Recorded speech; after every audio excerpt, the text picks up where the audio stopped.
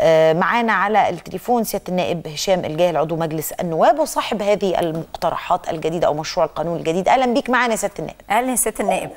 أهلا وسهلا يا فندم. أهلا بحضرتك. أهلا أهلا. أنت في كمان كلام بخصوص ال- المعلومات أو البيانات اللي موجودة في البطاقة الشخصية أو الرقم القومي برضو لو ما تمش تجديدها آه، في خلال مدة معينة بتقع آه، غرامة على اللي ما جددش البيانات دي. صح يا سيادة النائب؟ مظبوط الكلام. طيب خلينا نروح لمنطقة الأسماء الأول. الأسماء المركبة الأسماء آه، الدخيلة على الثقافة المصرية. نحكمها إزاي دي؟ هو في البداية القانون اللي حضرتك اتكلمت عليه آه، نصة المادة 21 من القانون 143 لسنة 94 إنه ما يجوز اشتراك أخوين أو أختين من الأب في اسم واحد. كما لا يجوز أن يكون الاسم مركب أو مخالف للنظام العام أو لأحكام الشرائع السماويه. أحكام الشرائع السماويه ال- الحاجات المخالفة اللي الناس بتسألني فيها كتير بيقولوا لي زي إيه؟ أقول لهم مثلا ما ينفعش إن إحنا نسموا اسم آه، زي أسماء خصصت للإله سبحانه وتعالى كالخالق القدوس آه، الحاجات اللي ما تليقش إلا بيه وبعظمته برضو زي ملك الملوك آه، سلطان السلاطين حاكم الحكام وهكذا وجدنا بعض النماذج الجديدة على آه، مجتمعنا وطرأت في الآونة الأخيرة وعفوا دي حاجات آه، كان لازم يبقى لها تصدي آه، كعبورة وحنكورة وبعض الأسماء الدخيلة اللي ملهاش معنى وملهاش مسمى وملهاش هدف أو غرض. لا معلش بس يا هي دي ممكن النائب. تبقى أسماء الشهرة. لا يعني في ناس ممكن تسمي عيالها كده. أنا أعتقد إن دي أسماء شهرة يا سياده النائب مش أسماء مكتوبة في في شهادة الميلاد والبطاقة يعني. والله يا فندم إحنا شفنا في بعض الأماكن الشعبية إن الأسماء اللي إحنا بنقولوا عليها شهره شفناها بتتكتب في شهادات الميلاد وفي بطاقات الرقم القومي. شفنا حاجات مخزية ولازم نتصدى ليها وده كان غرضي من هذا القانون. آه. لكن لكن مثلا أصل هنا مكتوب كمان أسماء دخيلة على ال- ال- المجتمع المصري طب ما هو ممكن حد يبقى عايز يسمي ابنه اسم أجنبي يعني، آه. أفرنجي ما هو ده يعتبر دخيل برضو على المجتمع المصري ولو يتمشى مع ثقافتنا أو هو اسم مستساغ مفيش مشكلة إنما؟ هسمي اسم- دخيل زي أنا بتكلم على الأسامي اللي ممكن بعد كده الناس تاخدها آه، وسيلة للتهكم على الشخص نفسه آه، أنا أوكي. بتكلم على الأسامي اللي ممكن بعد كده تبقى تسبب مشكلة للشاب أو الفتاة في مقتبل حياته فهمت. يعني ده ده كله في في سبيل أو هدفه هو حماية الشخص ده من بعد كده من التنمر عليه أو إن ده يسبب له أزمة بعد كده في حياته. بالظبط.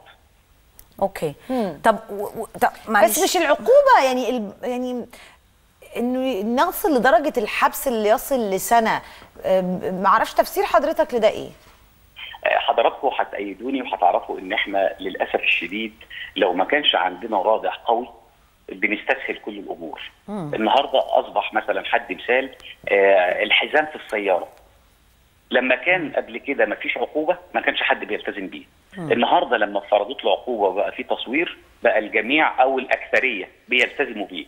فكان لازم تشديد العقوبة دي لأن العقوبة الأولانية اللي هي ما تقلش عن 100 جنيه وما تزيدش عن 200 جنيه أصبحت في الوقت الحالي آه، فتات يعني لا تتماشى مع الحياة اللي اللي موجودة حاليا.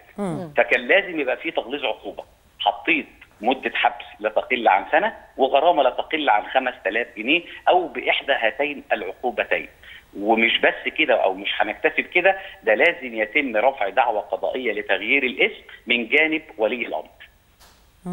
طيب ودينا على البيانات بيانات ال- الرقم القومي أو البطاقة الشخصية. برضو ب- في تفاصيل كتيرة داخلة على الناس اللي ما بتسجلش يعني مثلا هي متزوجة بس ما غيرتش البطاقة آه. ففضلت مكتوب فيها آنسة. آه وغيرها من التفاصيل معرفش هل ده بيندرج وبينسحب برضو على العنوان وعلى الحالة الاجتماعية؟ وهنحكمها إزاي وليه كمان؟ وليه مدة قد إيه؟ ده هو كانت البداية العنوان. مش حتى تغيير الحالة الاجتماعية. لأن النهارده في ظل مثلا الأحكام القضائية لما بينزل أي حد ينفذ حكم على العنوان اللي موجود في بطاقة الرقم القومي الخاصة بالمواطن سين والمواطن سين لما غير محل إقامته ما بلغش جهة الإدارة أو ما بلغش المكان اللي هو تابع ليه بكده.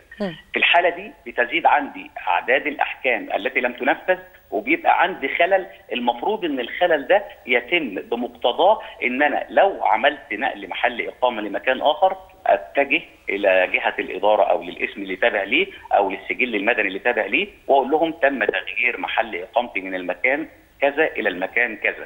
إحنا بحاول نعمله إجراءات تسهل علينا وتسهل على ال- السلطة التنفيذية إجراءاتها في كل ما هو موجود.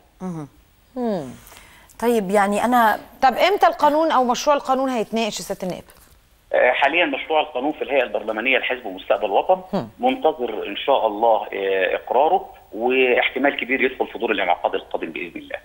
إن شاء الله يا سيادة النائب. ميرسي يا ست نشكرك النائب جدا. جزيلا.